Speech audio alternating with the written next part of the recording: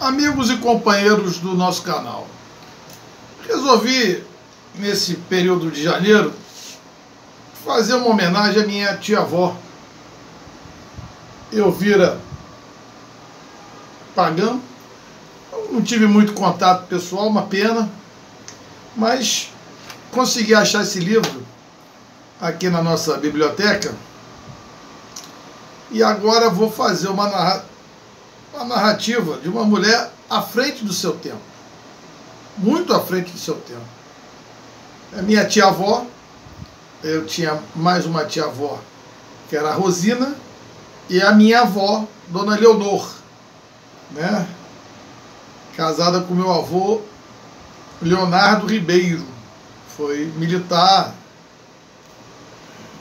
morreu coronel, chegou a patente general, e, e, eu tinha mais contato com a minha avó, ia muito para o sítio. E sabia que a irmã dela, a Elvira, era muito famosa, foi a Rita Lee da, da, da época dos anos 20, 30, e teve perto de. e fez muito sucesso, só, no, só foi superada pela Carmen Miranda. E ficou meio esque, esquecida na, na, na história e aqui eu achei um livro sensacional que fala Eu e os Mundos. Então vamos entrar um pouco nessa área mística. Também é legal, né? A gente falar. Tá aqui o livro que eu achei. Deixo registrado aí no nosso. Né? Não sei quantos vídeos eu vou fazer disso aqui. Eu vou começar aqui a edição de 1985 né, amados eleitores, né, ela diz aqui na dedicatória aqui, com esta obra, eu e os mundos pretendo encerrar com chave de ouro a série de livros espiritualistas, escritos por mim, Adão e Eva, vou atrás desse livro, né? Se alguém tiver aí, pode me mandar. A gente escreve aí no canal. Ele revelou o mistério do nascimento de Adão, assim como o da Eva. Eu e Cristo, lhes forneceu os verdadeiros conhecimentos referentes à doutrina da verdade, em relação às diversas encarnações da luz divina encarnada. Eu e os mundos lhes revelará porquê da eternidade. Então, são três, são quatro livros, né? Adão e Eva, Eu e Cristo, Doutrina da Verdade, Eu e os mundos. Tá certo? Então vamos lá. Vamos lá. Vamos, vamos fazer também fazer uma pequena edição aqui do sucesso dela aqui no Globo. Aqui no Globo, aqui, ó. Em, em 5 de agosto de 77. Elvira Pagã, rainha da mata, comendadora templária. Olha coisas bacanas, místicas, né?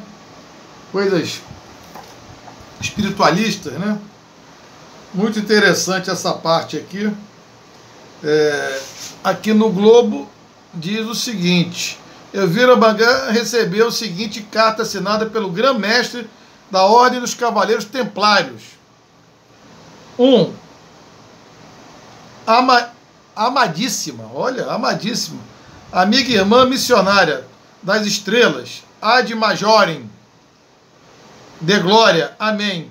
Eu, Anacan, sumo sacerdote e soberano do grão-mestre, saúdo a poderosa força geradora que habita tão abençoado corpo templário.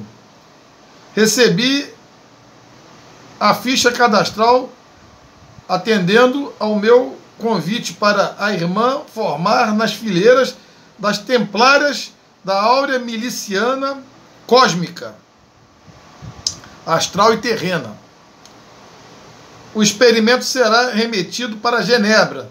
Pretendo até o fim do corrente ano fazer-me presente ao Rio de Janeiro para proceder à entrega dos diplomas de comemoração templária. Está no Globo aqui, rapaz. coisa bacana. 2. A atriz, cantora, escritora, pintora, compositora, acadêmica, sacerdotisa. Olha como é que minha tia avó era quente, hein, mesmo. É, da verdade, sacerdotisa da verdade. Elvira Pagã terá mais um título acrescentado aos da Rainha do Carnaval Carioca de 1950, rainha do Carnaval da Mata, de 1951, rainha do Carnaval Paulista, paulistão de 52. Ela que iniciou o Carnaval em São Paulo. Hein? Rainha da cidade do Rio de Janeiro, de 55. Rainha da Micareta, do quarto centenário de São Paulo. Rainha por um século. Rainha das atrizes de 1956. Muito legal isso, né? E um total de 1 milhão e 600 mil votos na eleição direta Dama Comendadora. Teve 1 milhão e 600 mil votos. Rapaz, fiquei até, ó, fiquei até arrepiado. Fiquei emocionado lendo isso aqui. Muito legal, né? É pena que eu não tive contato. Vou tentar fazer meditações. Elvira receberá é, com, é, condecorações, medalhas, diploma, assim como uma capa templária. A ordem que convidou-a foi fundada no ano de 1118. Eu queria conhecer essa ordem. Em Jerusalém. E tem por finalidade proteger o Santo Sepulcro, assim como a Terra Santa. A nova templária dos Cavaleiros Templários de Jerusalém terá como colegas personalidades como Jorge V, da Inglaterra, Eduardo Príncipe de Gales e Guilherme da Alemanha. Lançadora do biquíni do Brasil, pô, legal, né? Quem inventou o biquíni foi ela, ela, ela foi, botou o biquíni, ela vestiu o biquíni e foi pra praia. Eu, eu sabia disso, minha, minha, minha avó tinha me contado. É, pretendeu editar suas obras espiritualistas, Adão e Eva, Eu e Cristo, Eu e os Mundos. Diplomado em ciências ocultas, Elvira diz que te, fará muito para preservar o Santo Sepulcro, assim como suas obras literárias. Reúne todas as seitas em uma só, cristianismo. A nova comendadora, e atrás desse título, já pintou mais de 180 telas. Eu não sei onde é que foi parar essas telas. Destacando-se dentre elas patriarcas Aldes, pai Adão, Joverran, pai Eva, a última encarnação de Cristo, a amada invencível, minhas encarnações terrenas no dia de juízo, energias eternas, Badudá Amida, Jamin Carter, fundadora da doutrina da verdade. Vou dar continuidade à doutrina da verdade. Elvira Pagano trabalha para a salvação do planeta. Quer, ter, é, quer em livros, telas e pregações e conta as guerras, é, é contra as guerras. É, pretende, com suas teorias, desarmar o mundo inteiro. Olha que coisa bacana, né, rapaz? Está aqui no Globo. Muito, muito sugestivo agora, né? beira da, da Terceira Guerra Mundial. Muito interessante. Vamos, vamos adiante aqui. Olha o diploma dela aqui, dos Templários aqui, da Brevet, né? Aqui. Quem entende disso aí, por favor, me ajuda. Se alguém estiver vendo esse vídeo aí. É meu canal, coitado. O pessoal tudo quer ver o Capitão Léo falar de torcida. Eu estou falando de espiritismo, os outros mundos, vida, vida após a morte. Talvez não tenha muita gente aí não vai saber. As telas dela aqui, tá certo? Quem sabe não aparece algum admirador de Elvira para me ajudar aqui. E eu vou ler aqui, também vou ler, acho que eu vou ler essa primeira página aqui, primeiro capítulo, e depois a gente. Vamos ver se, fica legal aí como eu estou fazendo aqui. Espera um minutinho, pessoal. Então tá aqui, ó. Eu. Os mundos. Vamos ler aqui para vocês os mundos. Existem 70 milhões de sistemas planetários no universo, orientados por 70 inteligências superiores, encarregadas de conduzirem as, as diferentes formas de vida existentes nos mundos que povoou o imenso espaço cósmico. Em cada globo se encerram inúmeras vidas, das mais rudimentares à mais evoluída. Existem mundos onde ser mais infeliz do que a Terra.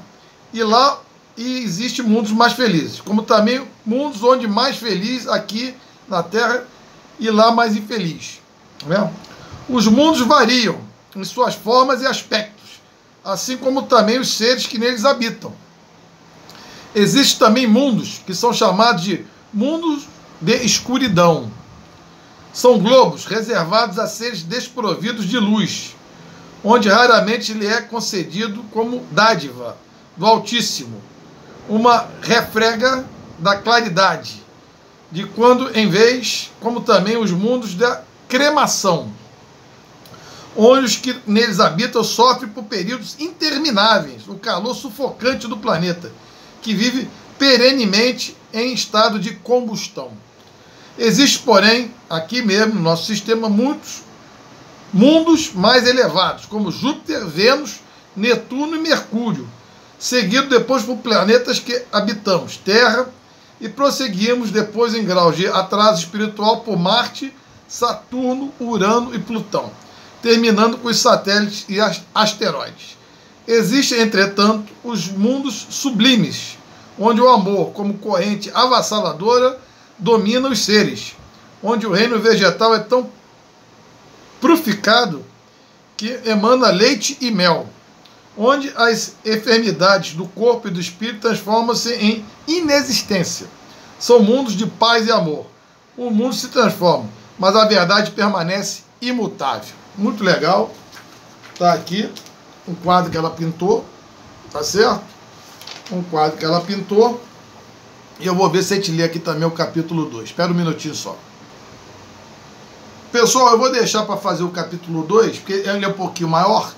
Então eu vou fazer, né, vou, vou terminar a minha análise aqui desse primeiro capítulo, vou carregar e aos pouquinhos a gente vai lendo aí os capítulos da Eu e o Mundo com Elvira Pagã, falando das vidas em outros planos astrais, em outros ambientes, tá certo? Então vou terminar esse primeiro capítulo aqui, depois eu volto. Aos pouquinhos a gente vai fazendo. Forte abraço, até lá.